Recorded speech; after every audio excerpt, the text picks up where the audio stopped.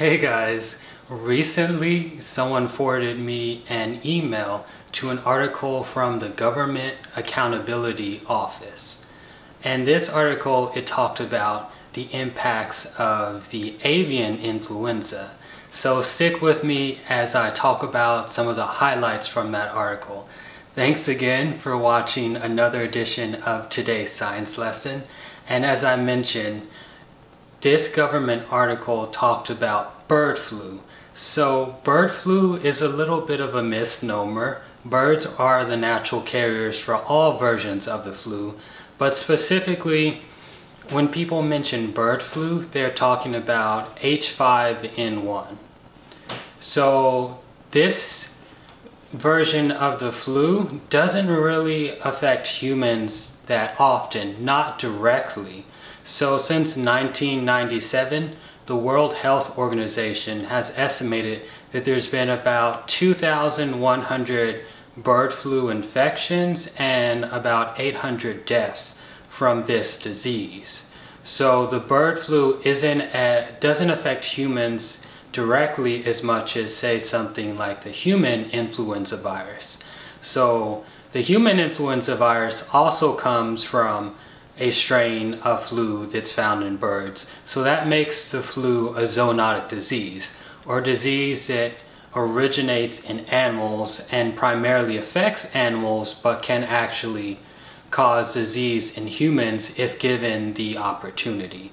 So that plays in a little bit with uh, the evolutionary traits of viral particles, but that's another lesson for another day.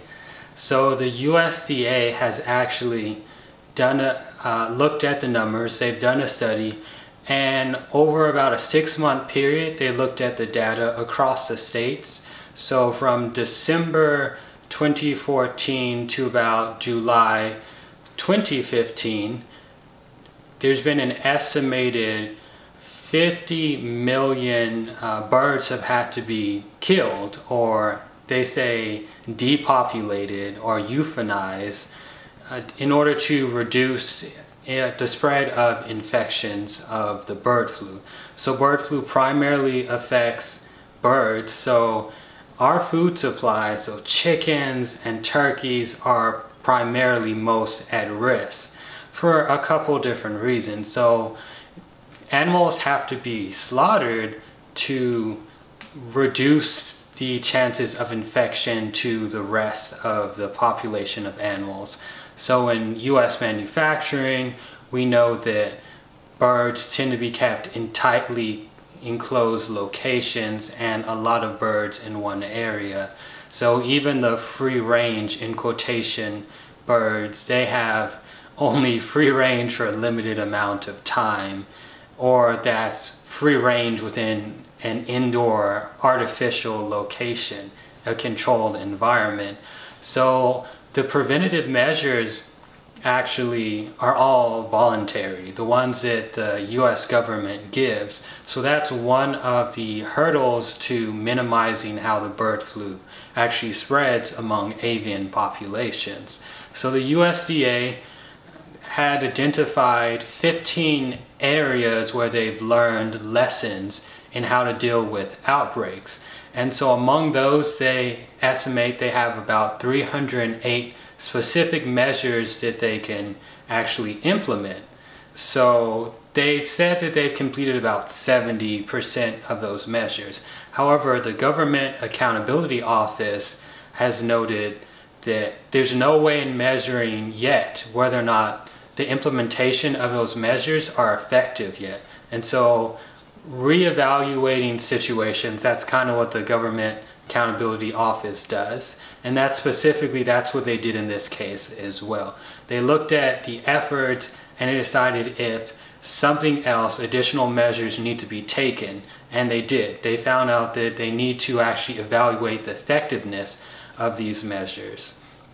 So if you think of about this time two years ago, the egg shortage actually came into the news because Whataburger, which is known for being 24 hours, had to reduce their hours for their breakfast times because of the egg shortage.